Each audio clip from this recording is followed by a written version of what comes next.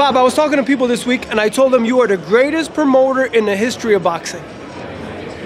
How do you know?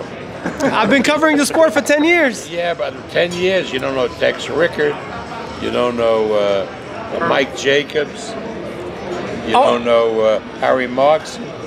So how do you, how can you make a determination? You've been covering it for 10 years. You came in after the heyday of Don King. How would you know?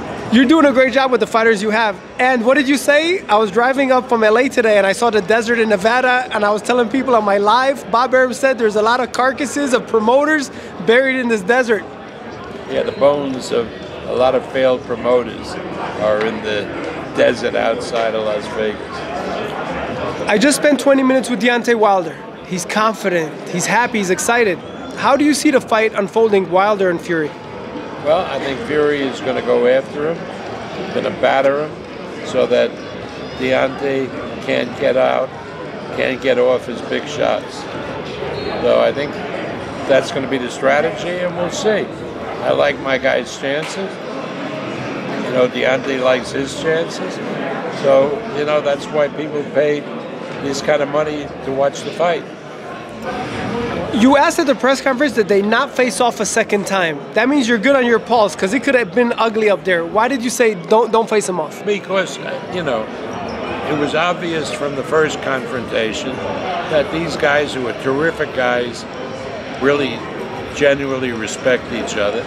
You know, they're getting ready for a fight and their blood is boiling. And then we had this great, really nice uh, uh, tete-a-tete, particularly with the trainers and everything.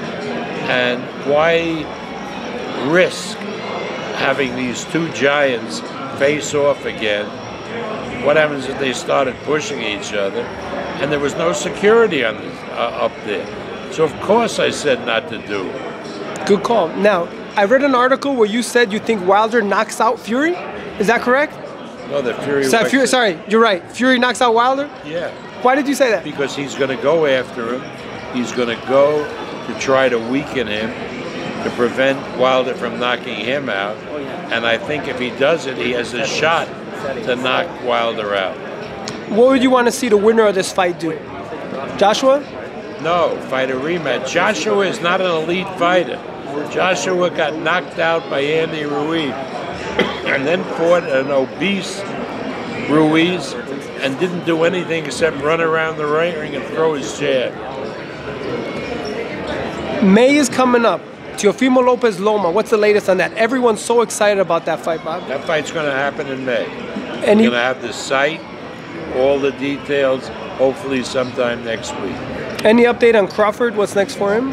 Well, we're working on a couple of big things for Crawford, and once we get them solidified, we'll make the announcement. What do you tell Fury fans who are watching this and they're watching Bob Arum, Fury's promoter? What do I tell them? I tell them, watch the fight. We're going to win and become the champion and the baddest man on the planet on Saturday night. And um, Bob, it's an Olympic year. Before we get to that, Jose Ramirez had a fight in China, got canceled because of Corona. Not anybody's fault. Is it going to happen in May in Fresno, the rematch? May rematch? 9, yeah. Did did we announce it yet? Not yet. M- May 9, Yeah, Jose Ramirez, Victor Postol. Huge fight. yeah. And who do you have as the pound for pound king of boxing right now? Is there one fighter that stands out? Well, a lot of pounds, but maybe it's Tyson Fury. We'll see Saturday night. And Bob, what did you think of Ryan Garcia's knockout recently? What? Ryan Garcia had a major knockout. Right. Well, I'm asking. Ryan Garcia certainly has a lot of charisma, and how good he is, we'll find out.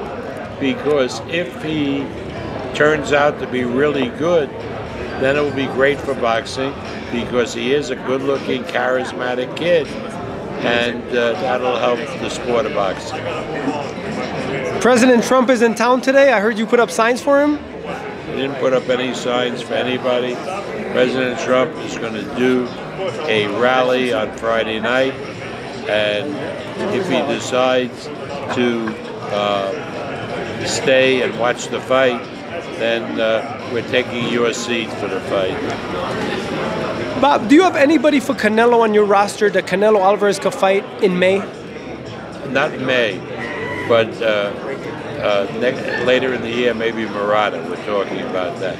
I think in May he's going to fight Saunders.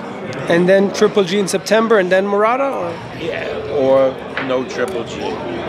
you don't think it's going to happen? I don't know. I don't know. I mean, it's not my my call.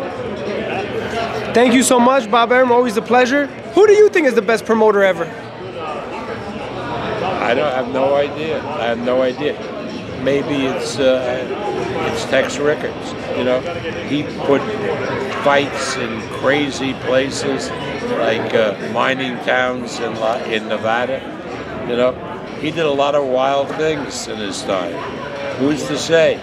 Maybe if he had the internet, he'd be known as by far the best promoter.